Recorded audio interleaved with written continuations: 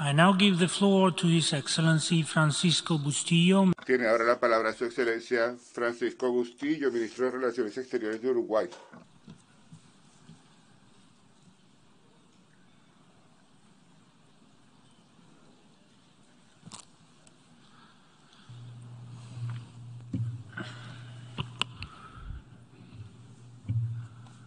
Señor Presidente, señor Secretario General, distinguidos miembros de la Asamblea General.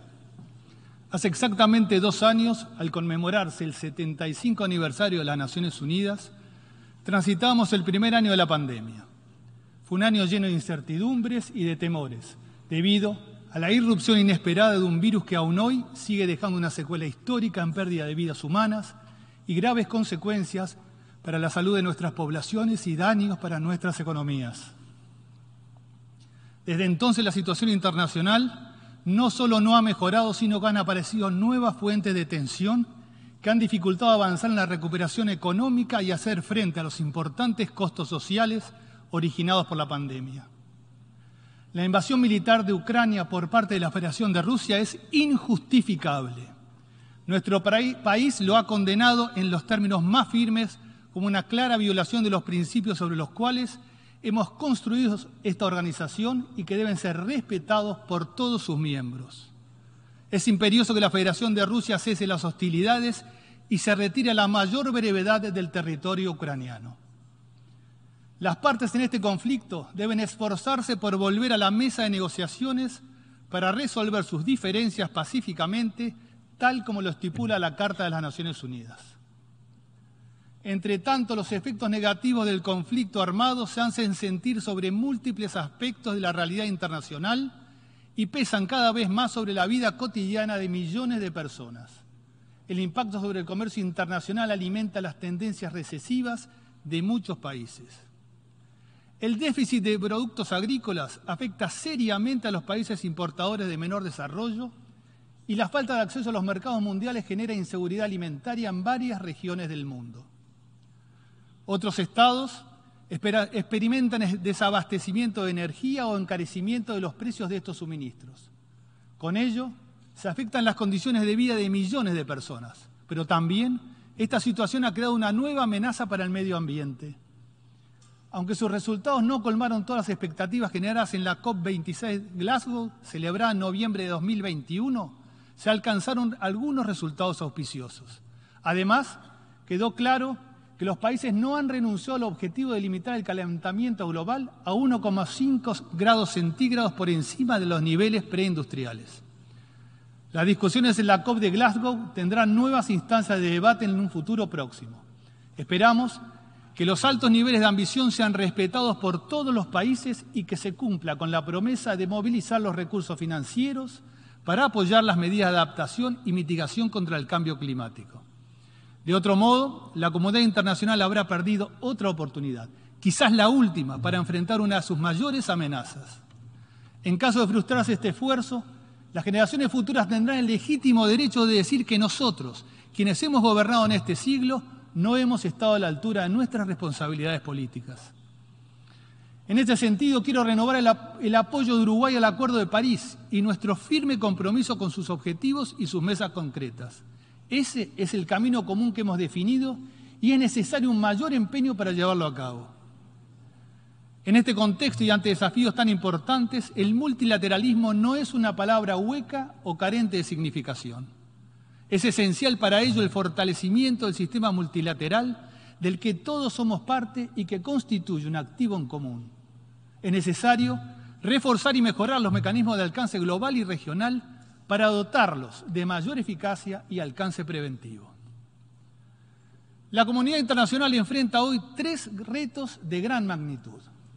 La paz y la seguridad internacional, el medio ambiente y la salud mundial.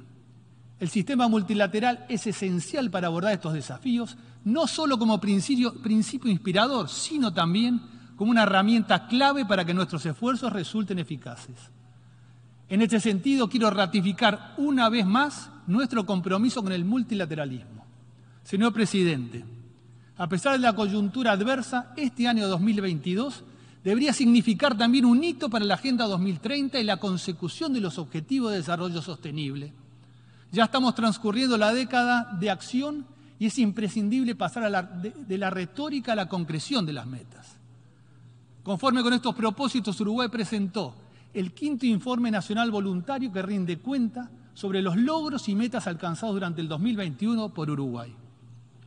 Estos informes constituyen una clara reafirmación del compromiso de mi país con la Agenda 2030 y con el cumplimiento de los Objetivos de Desarrollo Sostenible. Uruguay no escatima esfuerzos en la tarea de formular políticas públicas activas y de mejorar indicadores relacionados con estas materias. Persisten en el sistema internacional deficiencias que afectan y debilitan el esfuerzo que se ha hecho en pos del desarrollo económico y social de nuestros países. En muchas oportunidades, el establecimiento de determinados criterios para el despliegue de la cooperación internacional termina generando efectos adversos, indeseados y altamente negativos. Muchos países entre los que se cuenta Uruguay se han visto perjudicados por una concepción arcaica del desarrollo basada en el ingreso per cápita, resultando ello en un ejercicio de graduación que en la práctica constituye un castigo para los países que se encuentran en transición hacia el desarrollo y que han logrado una mejor retribución de su ingreso. Señor presidente, los estados tienen la responsabilidad primordial en la protección de los derechos humanos de su población. Nos provoca un profundo rechazo ver que en muchos lugares del mundo los derechos básicos de millones de hombres, mujeres y niños son violados en forma flagrante. Y más aún cuando los perpetradores de esas atrocidades son sus propios gobernantes que abusan de los mecanismos represivos y violentan sus obligaciones internacionales en la materia. Esta realidad nos resulta más dura y perturbadora al tener en nuestra propia región de América Latina y el Caribe ejemplo de esa naturaleza. No existe foro más adecuado que la Asamblea General para reafirmar la vocación humanista y humanitaria del Uruguay y reiterar su compromiso constante y permanente con la agenda de derechos humanos, exigiendo que las obligaciones internacionales contraídas por los miembros de esta organización sean plenamente respetadas por todos los actores de la comunidad internacional. Igualmente, es necesario asegurarnos que el tratamiento de estos temas tan sensibles en los foros multilaterales competentes se realiza de una manera objetiva y no politizada.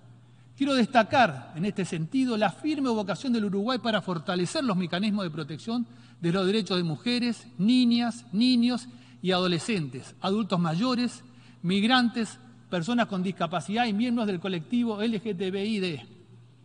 Las olas migratorias producto de guerras, conflictos internos o de crisis políticas y económicas a distintas escalas se han incrementado en los últimos años focos de inestabilidad regional como el provocado por el conflicto en Ucrania, así como la guerra civil en Siria o los acontecimientos en Libia, Myanmar o en Venezuela, en nuestra propia región, han ocasionado un aumento de los flujos de personas y familias que abandonan sus hogares y sus países buscando seguridad y alivio.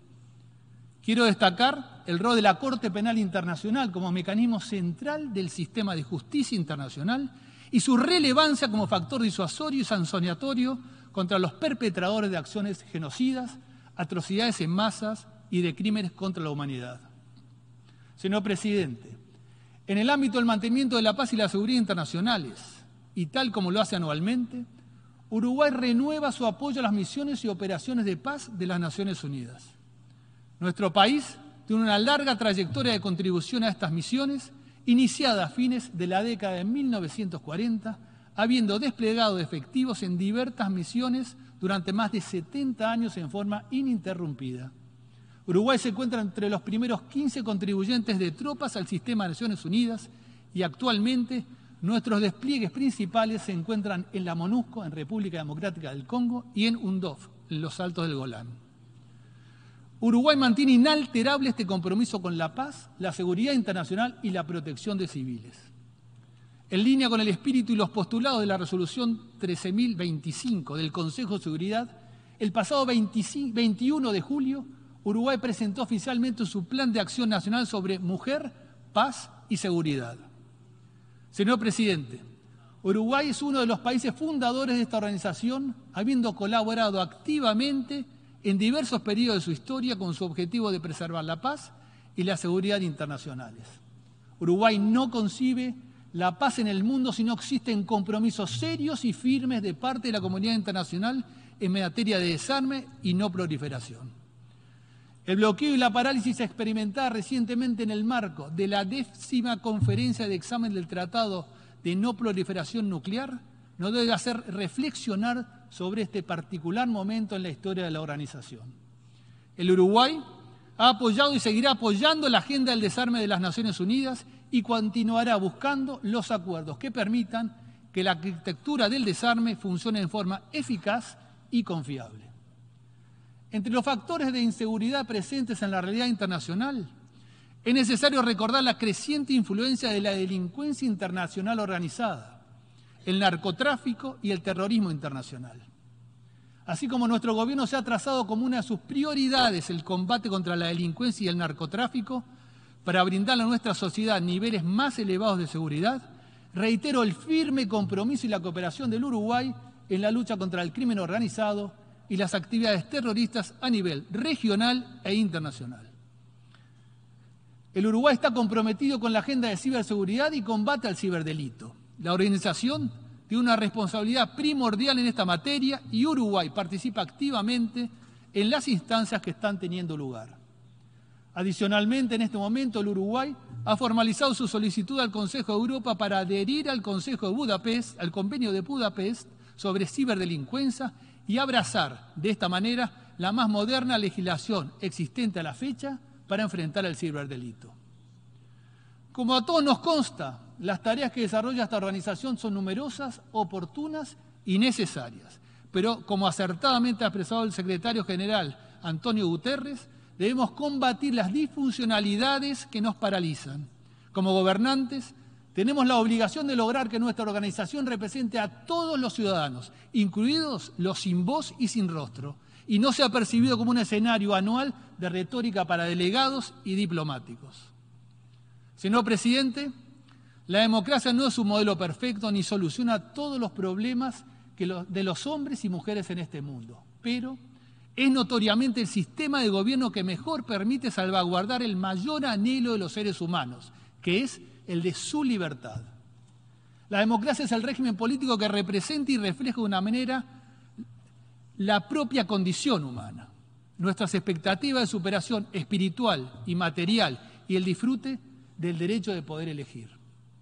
Democracia y Estado de Derecho son elementos necesariamente interdependientes, esenciales para que el orden social y político de un país represente la voluntad genuina de sus ciudadanos. Sin embargo, la democracia, sus principios y sus valores son sistemáticamente acechados en múltiples lugares del mundo. Para el Uruguay, el sistema democrático forma parte de su historia y de sus mejores tradiciones. Constituye un rasgo de identidad de nuestra sociedad. Nos enorgullecemos de ser considerados como una democracia plena, pero también somos conscientes de nuestra responsabilidad como gobernantes de fortalecerla cada día y protegerla ante sus múltiples desafíos. Esta construcción democrática con sus valores y sus principios rectores, esta, nuestra democracia y nuestro Estado de Derecho, lo que ha permitido es que la voz de Uruguay no solo sea escuchada, sino también respetada en la comunidad internacional. Estos fueron, son y seguirán siendo entonces los pilares fundamentales sobre los que reposa la contribución de mi país al concierto internacional. Sobre esta base, Uruguay renueva nuevamente su compromiso con el sistema internacional de naciones. Muchas gracias.